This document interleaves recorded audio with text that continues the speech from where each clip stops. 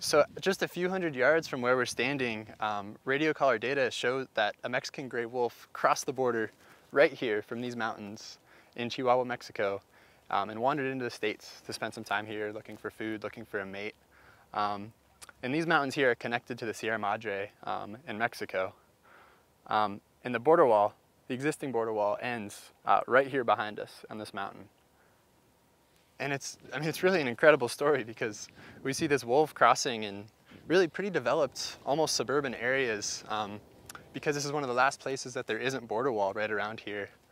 Um, and that wolf actually spent um, almost a week in the States. It went up in kind of suburban uh, Las Cruces area, walked into the Organ Mountains and Desert Peaks National Monument, and then crossed back into Mexico about 35 miles to the west of here.